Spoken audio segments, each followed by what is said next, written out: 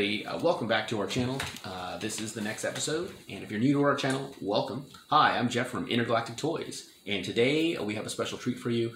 Uh, it is courtesy of Lucky uh, Doug Toys, and uh, you're looking at it right here. It is the Flying Scotsman train. All right, so this is a toy build episode that we're doing today. And we're going to go ahead and build this train for you. we're going to do it step by step. And uh, let's see, let's is is on the box it says it's for ages six and up, but is actually for ages eight and up.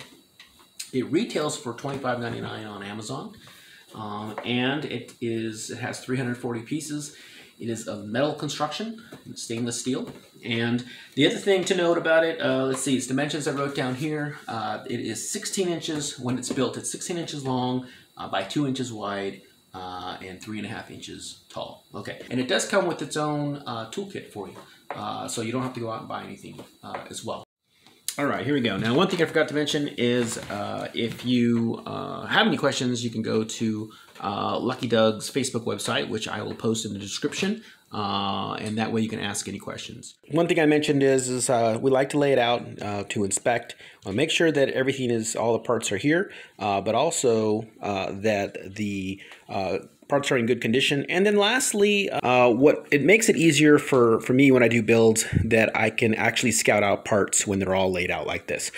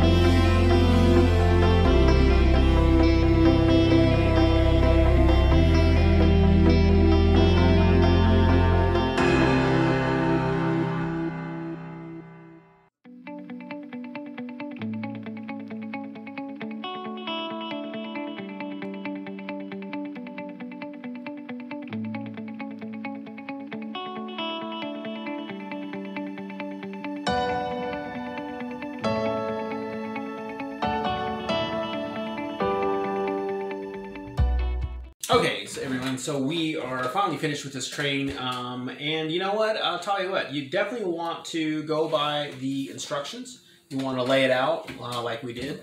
Um, you definitely need the tools. This is a magnetic screwdriver, just to let you know. And you got the wrench. You're going to need both sides of the wrench, believe it or not, to get in there.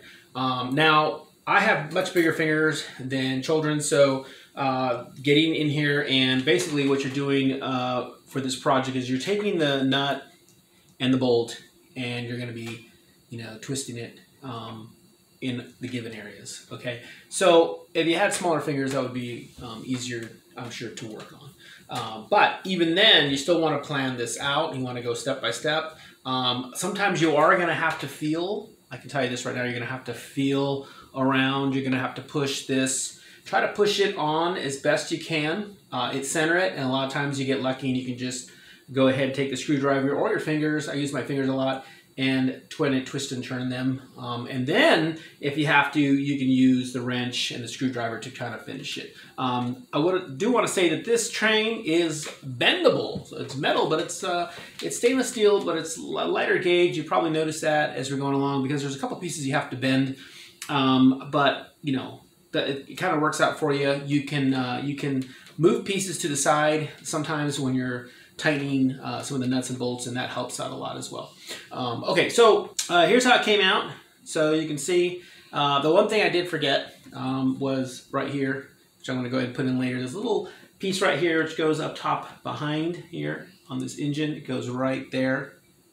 Apologize for that. I'll have to take the lid back off here, the front piece, and then put that through uh, and then put that back on, uh, which I probably will do. Go ahead and just have it complete. Now, just a note, there were extra pieces. They give you some extra, plenty of extra nuts and bolts, which is great. And you can see I didn't hook up the train, but you can. It's basically just fits right through there. You could probably go ahead and put a one of the uh, washers in there if you want to. Uh, okay, so yes, so this was um, challenging.